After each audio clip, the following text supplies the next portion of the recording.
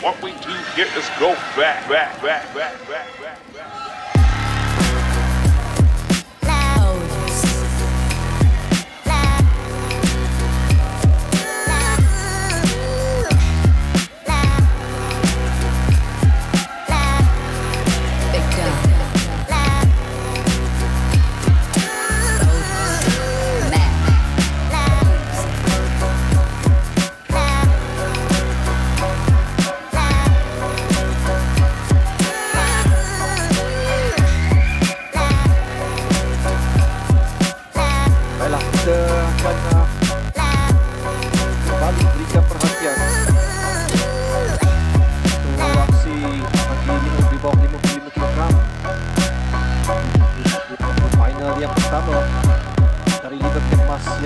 Yang ditawarkan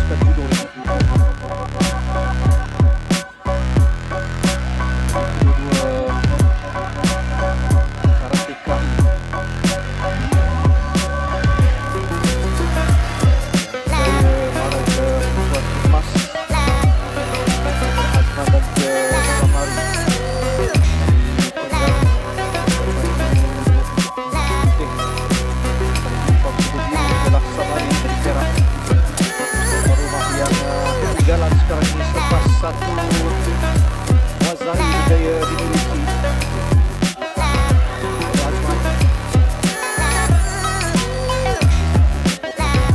Sebagai Azman dalam kedudukan yang cukup dominan sekarang ini. Cuba melakukan lock tapi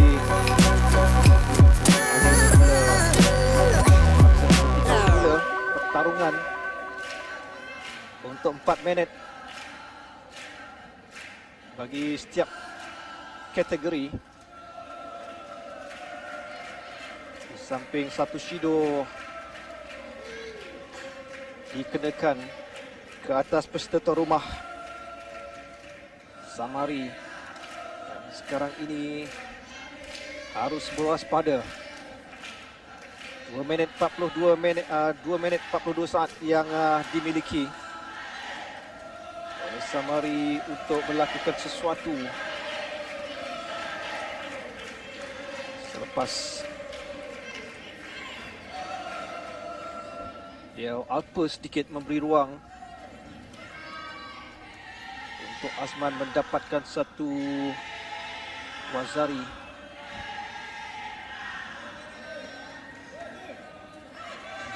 Penentuan tingkat emas yang pertama.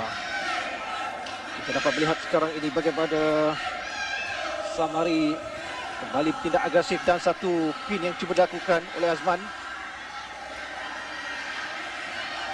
Dia hanya memerlukan uh, menggunakan kakinya untuk melakukan uh, kuncian. Kita perhatikan bagaimana kedudukan yang uh, tidak memihak kepada Samari sekarang ini. Satu lock yang cuba dilakukannya. Dan beliau perlu untuk mengawal pihak lawan tidak bergerak sepenuhnya. Jadi kita lihat isyarat dari pengadil sekarang ini. Paksa mereka bertarung semula. Satu sapuan yang cuba dilakukan oleh Samari tidak berjaya. Jadi kedudukan Samari sekarang ini perlu menggunakan manfaat dan juga peluang ini untuk mendapatkan setidaknya Wazari bagi mengikat kedudukan satu-satu.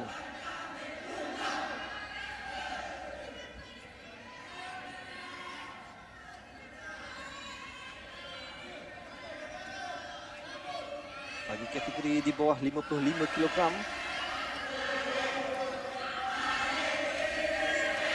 mereka akan bertarung pada pusingan awal sambil uh, yang menang akan mara ke peringkat suku akhir. Manakala peserta yang tewas berpeluang setidaknya untuk naik gangsa dalam uh, report charge uh, baik tindakan daripada Semari tapi turnover pula sekarang ini. Untuk peserta Terengganu.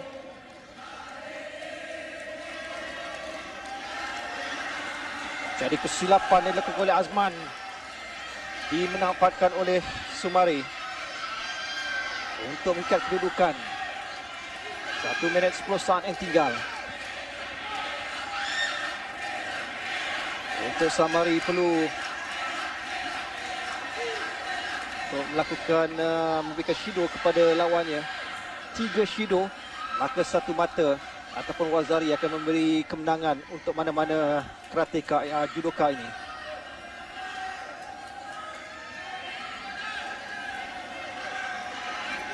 Kedua-duanya bergelut tetapi tidak ada kelebihan untuk Azman kerana hingga setakat ini satu Shido tidak memberikan sebarang uh, mata untuknya. Tinggal 45 saat yang terakhir.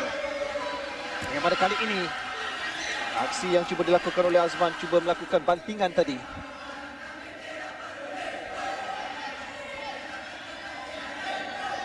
Tindak balas yang terbaik, flexibility yang dimiliki oleh Samari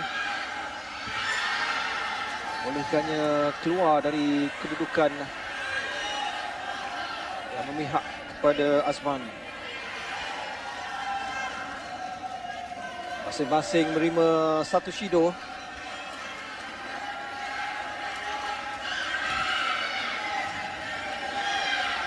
lima saat yang terakhir ini bagaimana? Ah, satu tindakan yang baik dilakukan. Satu sapuan kaki yang dilakukan oleh Samari. Beliau dalam kedudukan ketinggalan sebelum ini. Tetapi menuju 25 saat yang terakhir. Dia berjaya untuk mendapatkan satu wazari seterusnya. Ipon yang dimilikinya. Pada tempoh 21 saat yang terakhir. Memberikan pingat emas untuk peserta tuan rumah. Jadi satu kebangkitan yang cukup baik yang dilakukan oleh Samari. Jadi itulah kemenangan piket emas yang uh,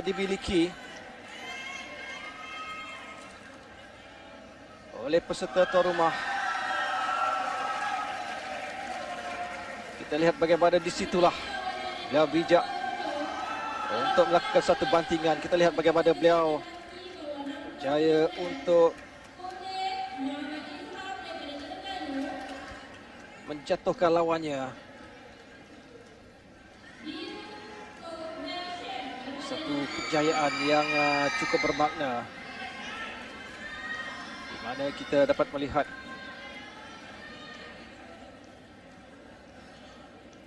antara Muhammad Izam Harun dan juga Toh Wei Seng masing-masing dari Terengganu dan juga Negeri Sembilan. Agresif tindakan dilakukan oleh Wei Seng tetapi kesempatan itu digunakan oleh Izham untuk mendapatkan ipon.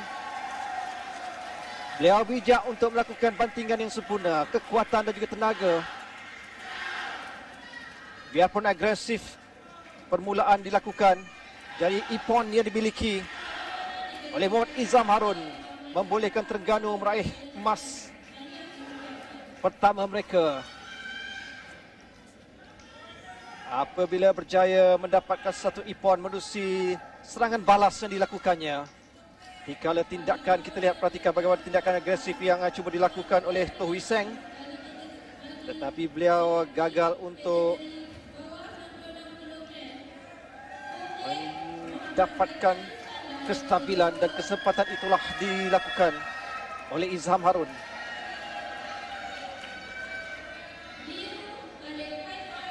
Bagi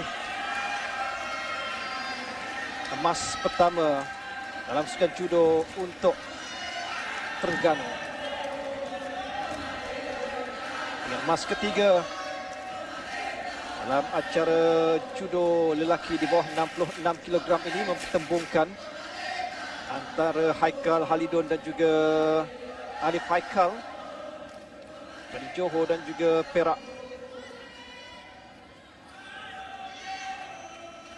Jadi apakah emas kedua untuk tuan rumah dalam sukan judo ini dapat dihasilkan oleh Alif? Yang uh, berbaju biru manakala Haikal dari Johor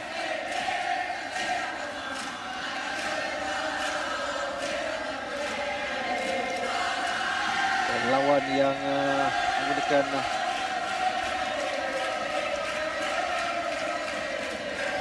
ataupun baju putih.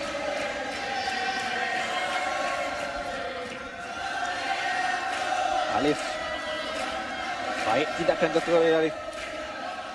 Sekali lagi pantingan cuba dilakukan oleh Haikal. Masing-masing cuba maut dan juga bagaimana kali ini. Alif Haikal cuba menyilang kaki lawannya. Tapi gagal untuk mendapatkan uh, pantingan yang sempurna. Tapi kita lihat bagaimana ketangkasan Haikal Halidun. Dia berjaya menjatuhkan lawannya tetapi tidak dapat untuk mengunci kedudukan lawan. Satu peluang yang cukup menarik. Membolehkannya mendapat mendapatkan satu uh, Wazari. Pada kali ini yang kedua. Apakah pin yang dapat dilakukan dari Ipon? Jadi itulah harapan tuan rumah untuk mendapatkan emas yang kedua. Disekat oleh Haikal Halidun untuk memenangi pingat emas bagi acara di bawah 66 kg ini dengan uh, Ipon yang dimenangi selepas mendapat dua wazari. Jadi pingat emas untuk Johor menerusi Haikal Halidun manakala Alif Haikal dari Perak memiliki pingat perak. Sekali lagi kita perhatikan di situlah bagaimana satu pin yang berjaya dilakukannya. Membolehkan beliau mendapat satu lagi Wazari sekaligus Ipon untuk menamatkan kategori di bawah 66 kilogram.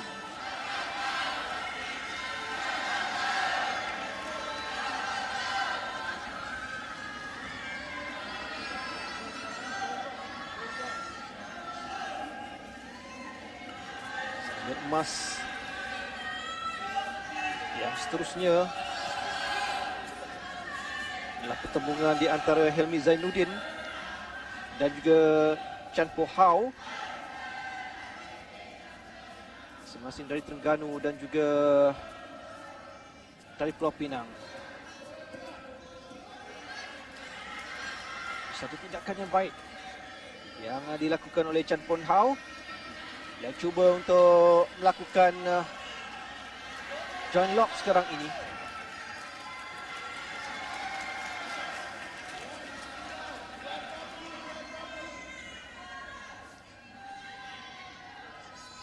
Jadi 3 minit 26 saat yang tinggal. Kedudukan yang cukup dominan. Yang uh, sekarang ini dikuasai oleh Chan Pon Hao dari Pulau Pinang. Sambil Hilmi Zainuddin. Merampas pulas untuk mengelak dalam setiap asakan yang dilakukan.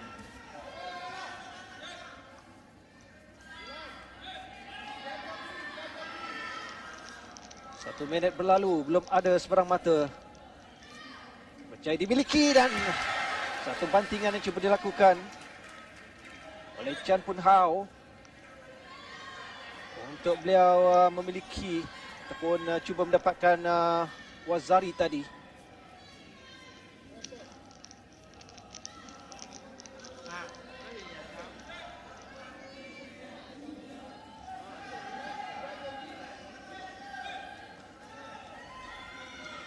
Chan Hao dilihat begitu agresif dan tidak berjaya untuk membanting dan pin bagaimana kali ini lock yang cuba dilakukannya.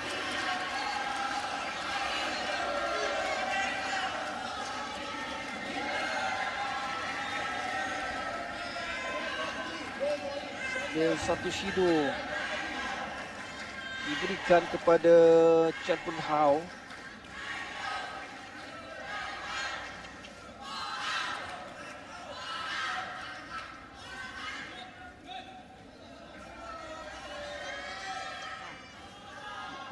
yang uh, diberikan tadi oleh pengadil Ella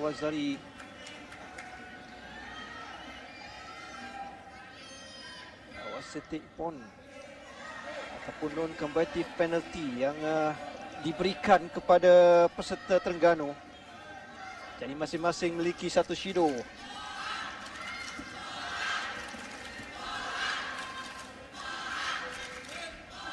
Itulah tindakan uh, Aizul Hilmi yang masing-masing belum lagi meraih sebarang mata tetapi kedua-duanya memiliki satu shido ketika ini.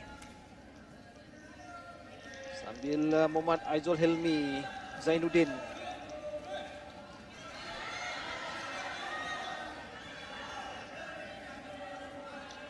terpaksa bertahan.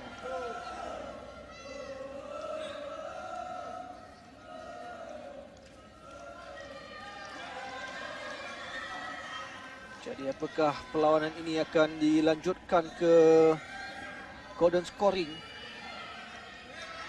untuk menentukan pemenang pingat emas. Sambil itu dua shido diberikan kepada Chan Po Hao. Hanya satu lagi shido diperlukan oleh Muhammad Aizul Hilmi untuk beliau mendapatkan satu wazari berbaki satu minit 15 saat yang terakhir ini.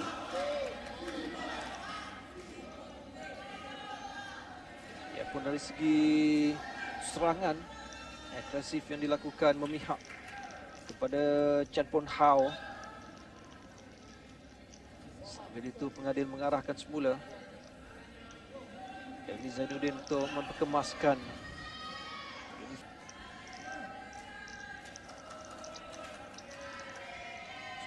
kedua-dua judoka ini pastinya benar-benar kerana hanya satu shido yang diberikan oleh pengadil akan memberikan kemenangan kepada lawan. Jadi bagaimana kali ini serangan yang cuba dilakukan? Lihat bagaimana amba yang cuba dilakukan oleh Helmi Zainuddin.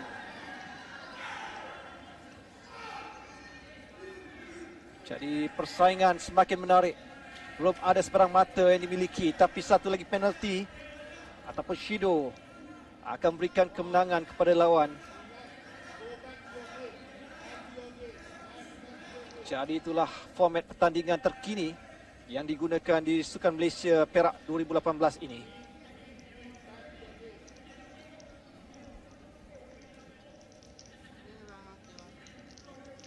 Lima puluh empat saat yang tinggal untuk penentuan pingat emas. Masing-masing memiliki dua shido tanpa sebarang mata.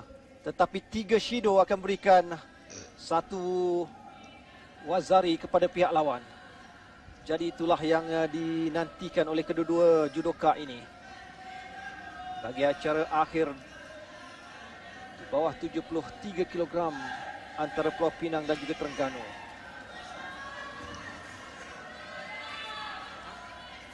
Soalan ini siapakah yang akan memiliki satu wazari setidaknya. Kita lihat bagaimana usaha yang cuba dilakukan oleh Chan Pon Hao yang semakin agresif. Cuba melakukan pin. Tindak balas yang baik dilakukan oleh Helmi. Berjaya dari ke, keluar dari kedudukan yang memihak kepada Pun Hao.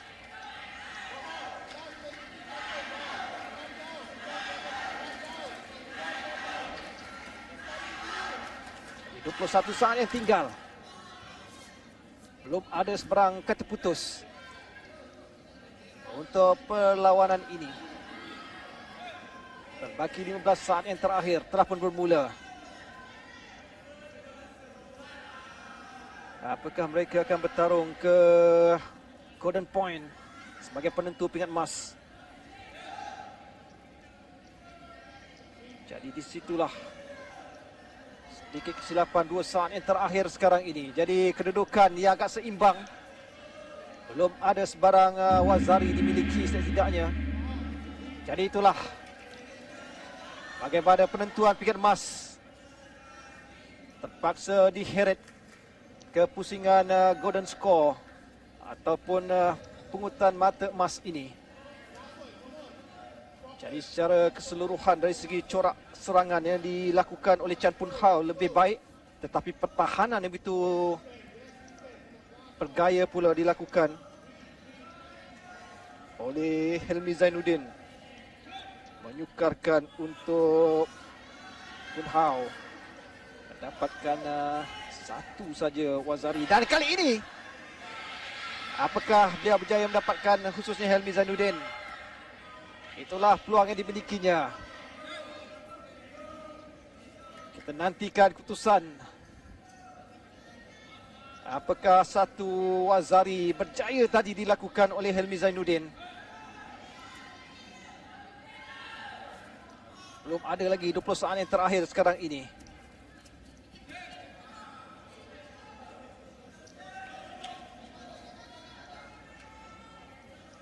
Masing-masing uh, hanya mengharapkan lawan mendapat satu shido untuk memenangi perlawanan ini sambil belum ada sebarang uh, mata yang berjaya mereka miliki sepanjang 4 minit. Yang terpaksa diheret hinggalah satu wazari setidaknya diperlukan untuk mana-mana judoka ini meraih pingat emas.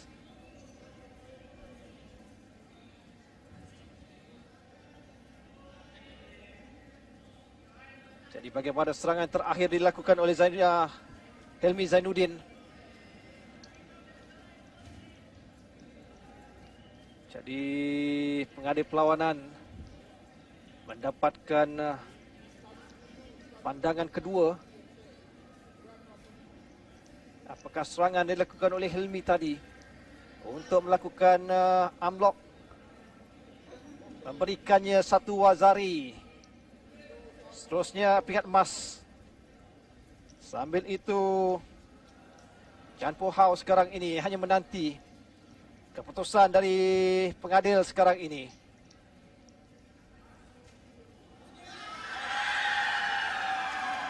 Jadi itulah kemenangan dia dimiliki oleh peserta Terengganu. Jadi amaran yang ketiga.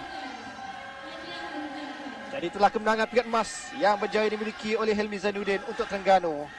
Jadi kita berehat dulu seketika dan kembali semula selepas ini.